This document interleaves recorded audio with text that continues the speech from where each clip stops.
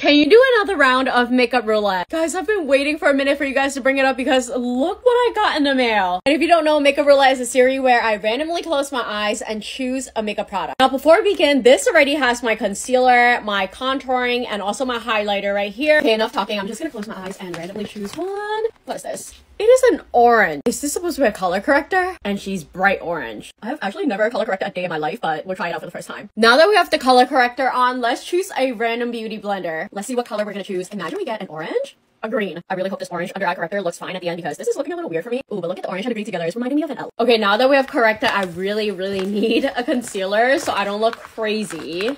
Let's get what is this? It is the liquid contour. Am I just gonna have to look crazy for the entire video? I'm not gonna lie though, these are from Milani and they're the best liquid contouring from drugstore right now. Blending it all out. Now that I look like a literal Oompa Loompa, let's go ahead and see if we can get a concealer. Like, finger crossed.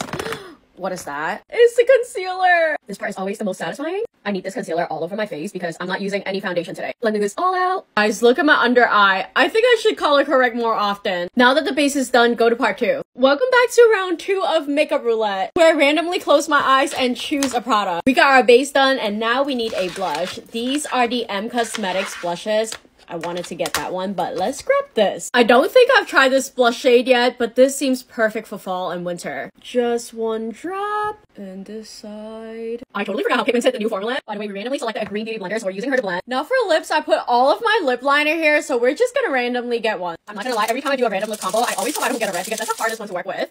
Oh my gosh, it's a brown, and it's the NYX lip liner in Cold Brew. This is definitely one of my favorite lip liner. Like, look at that brown. It's a true brown. And I put all of my Tarte lipsticks here, so we're just gonna randomly choose one. Let's get this. Okay, this is the Juicy Lip in Rose, and I've never tried it before. Everyone else just obsessed with the clicks. Okay, the brown and the rosy shade. I already know this combo is gonna win. Um, Look at that lips. This is freaking gorgeous. I was gonna end my look like this, but I feel like I need some eyeliner and I have all these color liner. Let's see which one we're gonna get today. I don't have a back for this, so I'm just gonna randomly select one. I mean, they can all feel like boxes anyways. Is this a sky blue? I've never tried this before, but this is gonna look so cute. I thought this is a pencil liner and it would be hard to glide on, but it glides on like butter. Here's the final makeup look, and what do we think? Let me know if we should do more makeup roulette, because I'm loving it.